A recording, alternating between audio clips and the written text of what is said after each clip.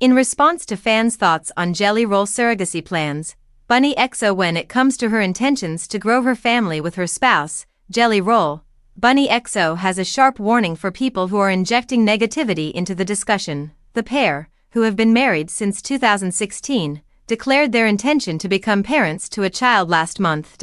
On Saturday, July 6, the host of the Dumb Blonde podcast posted a screenshot of a critical Facebook comment.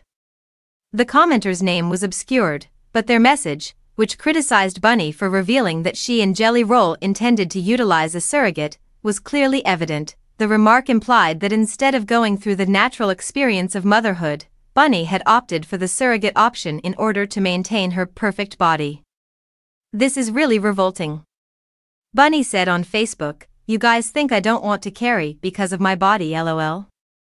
The screenshot was posted alongside the message. As the stepmother to Jelly Roll's son and daughter, Bunnie clarified that she is afraid of getting pregnant once more.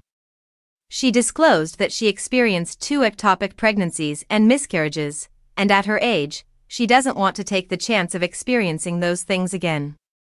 She also said that their hectic lifestyle does not permit such a drawn out and unclear procedure. She said in her message, Please watch how you say things to people on the internet.